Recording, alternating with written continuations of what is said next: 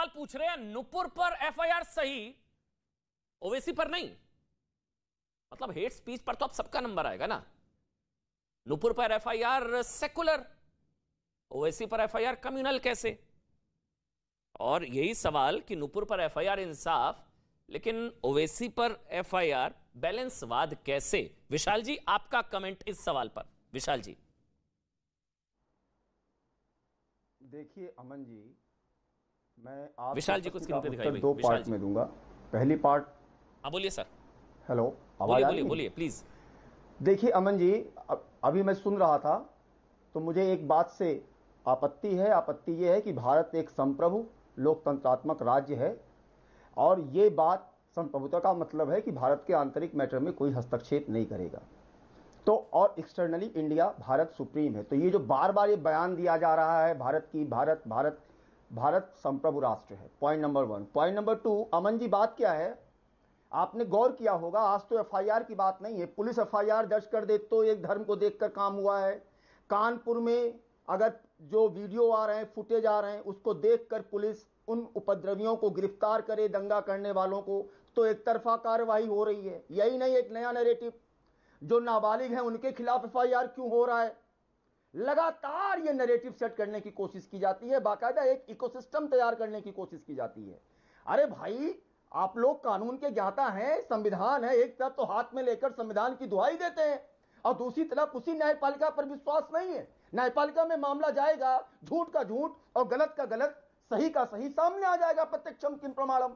लेकिन नहीं, पहले से ही नैरेटिव सेट किया जाए। अरे भारत में विधि का शासन है रूल ऑफ़ लॉ है, जिसका मतलब होता है लेक्स रेस्टलेस नहीं होता है जिनको कानून मालूम है उनको यह भी मालूम है कि भारत में लॉ इज़ द किंग है। तो किस बात की दुहाई देते हैं? वैसे तो संविधान संविधान संविधान। तो भारत में रहकर संविधान की बात करने वाले उसी संविधान के तहत न्यायपालिका पे सवाल। अरे पुलिस ने एफआईआर दर्ज की है ना सर्टन फैक्ट्स और फिगर्स पे किया होगा। न्यायालय में मामला जाएगा। आप अपने तथ्य रखिएगा लेकिन नैरेटिव क्यों सेट किया जा रहा है। क्या हिंदू लोग उसमें शामिल नहीं है? और धर्म के लोग नहीं शामिल हैं जिन पे एफआईआर हुआ है? तो सवाल यह उठता है अमन जी बार बार और रही बात समाजवादी पार्टी के प्रवक्ता दो दिन पहले। इनके प्रवक्ता हमसे टीवी डिबेट पर कह रहे थे कि उन नाबालिगों पर एफआईआर करने की क्या ज़रूरत। पूछिए तब उन नाबालिगों के हाथ में पत्थर दिया गया था तब नहीं रोका था। जिनके हाथ में कलम होना चाहिए जो देश का भविष्य लिखेंगे उनके हाथ में पत्थर देकर कौन सी मानसिकता स्थापित करना चाहते हैं? तो बात तर्कों की नहीं होती है यहाँ पे अमन जी। लेकिन अभी आपने देखिए पूछा पता क्या विशाल जी अभी आपने पूछा कुछ नहीं होगा मेरे ख्याल से वो तो कानून अपना काम कर रहा है कानून अपना काम करना है। कोई जवाब नहीं मैं दिया। मैं जब से डिबेट कर रहा हूँ मैं यही समझने की कोशिश कर रहा है तो कि एक लॉबी बहुत जश्न मना रही थी नूपुर पर एफआईआर हुई थी। बहुत जश्न मनाया जा रहा था नूपुर पर एफआईआर भाई अब वही लॉबी में मातम है। अब वो वो वो शांत हो गए वो लॉबी बिल में है वो वो मातम है वहाँ पर। अब अब कहा जा रहा है कि गलत हो गया ये कम्युनल है पुलिस बैलेंस करने के चक्कर में सब कर रही है अब ये गलत हो रहा है अब कम्युनल मतलब हो गया। क्यों भाई? मतलब ये एक मतलब तरफा कार्रवाई होगी। क्या डॉक्टर रिजवान अहमद? एक एक करके बोलेंगे सारे उसके बाद अनुराग मैं आपके पास आऊँगा। और कोई बीच में नहीं बोलेगा वरना मैं ऑडियो बंद करूँगा। सब एक एक करके बोलेंगे। सबसे रिक्वेस्ट है प्लीज़। ठीक है? आप बोलिए। डॉक्टर रिजवान अहमद। जी। जी। अभी अभी एक मोहतरमा बैठी है याना उनसे मैं आर्ग्यू नहीं करना चाहता लेकिन उन्होंने कहा कि ओएसी ने कौन सी भड़काऊ बात की है। देखिए अमन भाई मैं आपको संबोधित कर रहा हूँ बहन को नहीं कर रहा। ये हम या अमन या याना तय नहीं करेंगे कि भड़काऊ होता क्या है। ये कोर्ट तय करेगा, ये पुलिस तय करेगी। हम लोग भड़काऊ को एक दायरे में नहीं बाँध सकते कि जब तुम धर्म का मज़ाक उड़ाओगे तो भड़काऊ, जब हिंदू का उड़ाओगे तो भड़काऊ नहीं। पहली बात। दूसरी बात, जब ओएसी बोलता है कि जब योगी मठ में चला जाएगा, तुम्हें कौन बचाएगा? ये हर कैटेगरी से as a lawyer I am telling you ये भड़काऊ में आता है। अभी कल ओएसी ने बोला, अमन भाई, जो अभी एक साहब बैठे थे, उनका नाम मिस कर रहा हूँ। ओएसी ने बोला, मैं मरने को तैयार हूँ, क्या तुम मरने को तैयार हो? अमन भाई, ये अफ़गानिस्तान नहीं है जहाँ मरने और मारने से सरकारें बनती हैं या शिकायतें दर्ज होती हैं। ये तुम्हारा पाकिस्तान नहीं है। ये इराक सीरिया लेबनान नहीं है। नहीं, ये ये- भारत है। अब ये भारत का एक- एआईएमआईएम जी, वाले कहीं ओआईसी भा- शिकायत ना कर देना। जी अब भारत में अगर एक मेंबर ऑफ़ पार्लियामेंट ये कह रहा है कि मैं मरने और मारने को तैयार हूँ क्या भाई तुम गाजी हो? तुम शहीद होना चाहते हो? तुम यहाँ पर सिविल वॉर कराना चाहते हो? तुम जिहाद कराना चाहते हो एक चुनाव लड़ो यार। चुनाव लड़ो, महँगाई महँगाई करते रहते हो, चुनाव जीत के आओ, महँगाई कम कर दो। पहली बात। दूसरी बात, अमन भाई, बहुत लोग परेशान हैं, भारत की बदनामी हो गई भाई। ओहो। अरे, अगर हो गई तो ये political parties, Muslim intellectual, Muslim धर्म गुरु मिडिल ईस्ट से कहते कि देखिए, हमारा पर्सनल मैटर है देश का। थैंक यू वेरी मच आप बीच में नहीं बोलिए। कोई ऐसी पॉलिटिकल पार्टी खड़ी हुई जिसने ये कहा मिडिल ईस्ट से कि हमारे बीच में, हमारा मैटर है, बीच में नहीं बोलो। वो इस मारे नहीं, क्योंकि ये वाकई देशद्रोही हैं। ये सिर्फ़ मोदी विरोधी नहीं है, ये देश विरोधी भी हैं और जाके मिडिल ईस्ट की गोद में बैठ गए।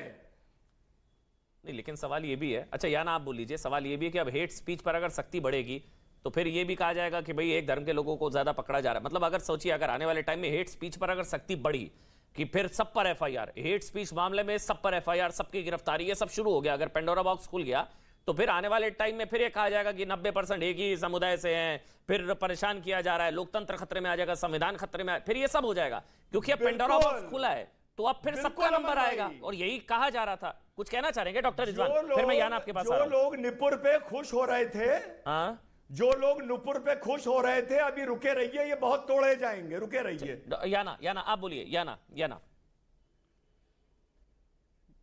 आपका शायद अनम्यूट कर दीजिए, याना म्यूट है।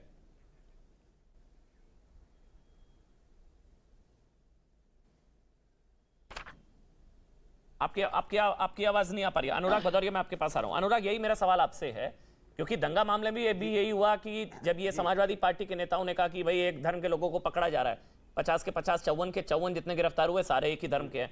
तो कल को हेट स्पीच मामले में अनुराग भाई फिर ऐसी सख्ती होगी और सबका नंबर आएगा तो फिर ये तो नहीं होगा कि एक ही धर्म के लोगों को पकड़ा जा रहा है। भाई ninety percent ninety nine percent एक ही धर्म के हैं। ये तो नहीं होगा ना फिर? फिर लोकतंत्र के खतरे में आ जाए अनुराग भदौरिया। सवाल जायज़ है मैं उसी का उसी का जवाब दे रहा हूँ। हाँ बिल्कुल जायज़ आपका सवाल है। कहेंगे जब आप बबूल का पेड़ लगाओगे तो आम कहाँ से खाओगे?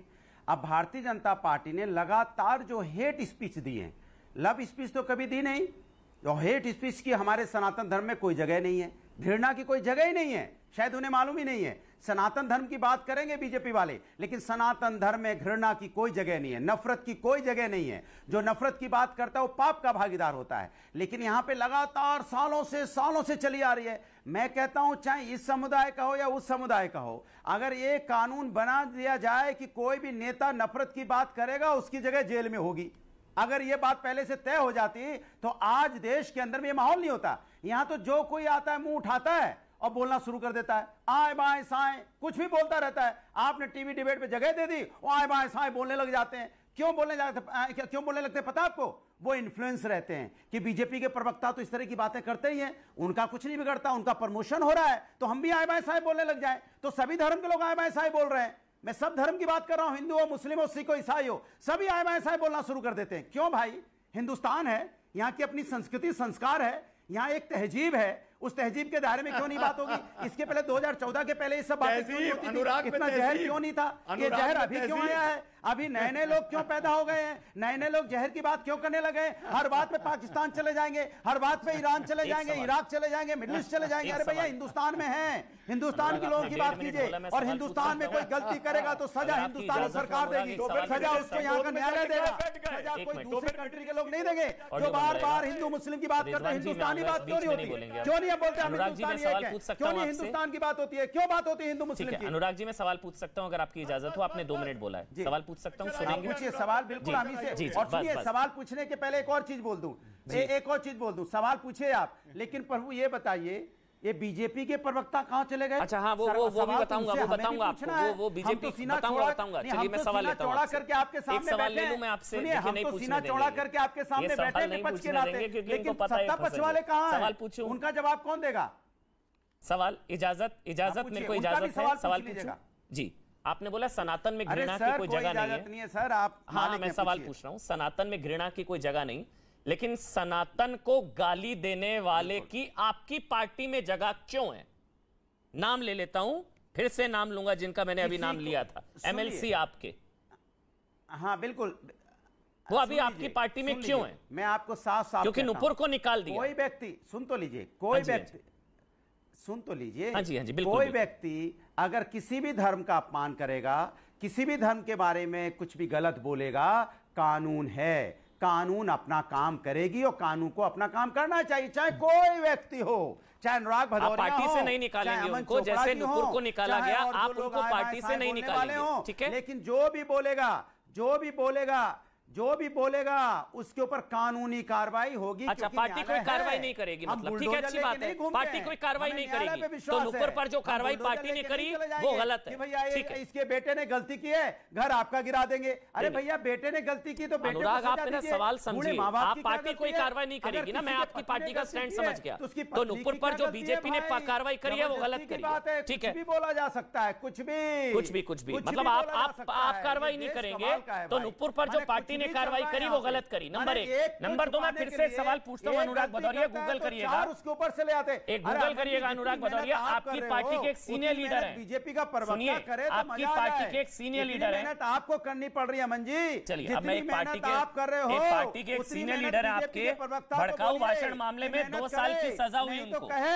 आपकी पार्टी में सीनियर लीडर हैं भड़काऊ भाई सर ऐसा है। कहावत है सूप बोले तो बोले। छलनी भी बोले जिसमें बहत्तर छेद आपका बताइए वो हाल है। किससे होगा? आप लोग तो लेक्चर दे रहे हैं क्या? नाम गिनाना शुरू करूँ? शफीकुर रहमान बर्क। उन्होंने बोला कुर्बानी देनी पड़ेगी तो देंगे। मंजी से शफीकुर रहमान बर्क। कि- कि- उन्होंने बोला कुर्बानी देनी पड़ेगी तो देंगे। एस टी हसन क्या कुछ नहीं बोला। तो अबू असीम आजमी दो साल की जेल हो गई। आपके एमएलसी चार चार नाम तो मैंने गिना दिए। क्या कार्रवाई करी अच्छा, आपने? सुनिए। सजा सजा सजा किसने दी? सजा किसने कोर्ट ने कोर्ट ने। दी ना? न्यायपालिका है इस देश के अंदर में। देश तो के पर पार्टी ने कार्रवाई करी, वो गलत। बुलडोजर बोल दीजिए, बात खत्म। ये बताइए आप मुझे मैं आपसे सीधा सवाल पूछता हूँ। तो फिर नुपुर को- सजा को पार्टी से आप लोग निकालने की जो मांग कर रहे थे, वो गलत तो थी। कोई न्याय में आपसे पार्टी से नहीं निकालना चाहिए मतलब। न्यायपालिका या बुलडोजर? न्यायपालिका या बुलडोजर? जवाब बुलडोजर है न्यायपालिका सजा कौन देगा अमन जी अमन जी आप रटा रटाया हाँ, जवाब आपके पास भी नहीं है। हमने तो। कर लिया अनुराग मैंने दो सवाल बहुत बहुत आसान सवाल पूछे तो थे। जवाब मिल जाते तो बेहतर था। अब मैं रिया रिया रिया जी के पास जाना याना के पास लेकिन डॉक्टर रिजवान डॉक्टर रिजवान कुछ कहना चाह रहे हैं। अनुराग आपने चार पाँच मिनट बोला वो आपके बीच में नहीं बोले। अब आप भी मत बोलिएगा। ये हम मेंटेन रखेंगे डेकोरम वो आपके बीच में नहीं बोले अब ठीक है? अब आप बोलिए डॉक्टर रिजवान फिर मैं रिया और याना आपके पास आऊँगा। विशाल जी आ रहा हूँ। हाँ, और व्यक्तिगत हमले ना हो ये हाँ नहीं एक बात है। नहीं होंगे शांत शांत। डॉक्टर रिजवान। मुझे एक बात समझ में नहीं आती। अगर बुलडोजर गलत चल रहा है गलत लोगों को पकड़ा गया है तो जब भी मोहल्ले में पत्थर चलते हैं इस तरह की रॉयटिंग होती है तो बेगुनाह लोग फंसते हैं मुझे मालूम है। तो यार ऐसे हालात क्यों पैदा होने देते हो? कि जुम्मे के दिन पत्थर चलाते हो? और अनुराग जी जैसों को इस मारे तकलीफ़ होती है क्योंकि यही इनके वोटर हैं। इस मारे ने तकलीफ़ हो रही है। महँगाई महँगाई करते रहते हैं। अरे 2022 में मौका मिला था ना। महँगाई महँगाई के नाम पर चुनाव जीत जाते क्यों नहीं जीत पाए? उत्तर प्रदेश की जनता मूर्ख है क्या? महिला अत्याचार पे बोलेंगे। यहाँ पे ये चीनी बोलेंगे। पे चुनाव जीतो ना। आपके बीच में नहीं उस पे बोले। अब आप बोलेंगे, पॉलिटिकल आदमी हो चुनाव जीतो ना। टमाटर अपना महँगा चुनाव हारे बैठे महँगा उस पे करते बोलेंगे। रहते हो। क्यों नहीं बोलेंगे भाई? क्यों नहीं बोलेंगे चुनाव जीतो यही ना। तो मुद्दा है जिससे बात नहीं करना चाहते आपको पता है महँगाई से कितने लोग आत्महत्या कर हाँ। रहे हैं बेरोजगारी से कितने लोग आत्महत्या कर रहे हैं? अरे तो कितने चुनाव घर में खाना नहीं बनता? हमें कितने लोग बता रहे हो परेशान यार? डिग्री लेके घूम रहे हैं? कितने लोग धरने पे बैठे रहते हैं? ना, मुझे हमें रोज़गार नहीं मिल रहा है। और हम बैठकर? किसमें बिज़ी हैं? हम धर्म की राजनीति में बिज़ी हम हैं। हम जाति धर्म की राजनीति में जूझे पड़े हैं। यूथ डिग्री लेके घूम रहा है। कि भैया मैं एमबीए हूँ। लड़ने मैंने एलएलबी कर लिया है बीटेक कर लिया है। मेरे लिए जो रिया और नौकरी याना। कहाँ है? यहाँ तो बस यहाँ तो हम शुरू हाँ, बनने हाँ, गए थे। महँगाई पर बुलाऊँगा तो अनुराग, आप- आप बड़े अर्थशास्त्री हैं। डिजिटल इंडिया नया भारत रिया जी मेरा बदला सवाल आपसे। यही है रिया जी।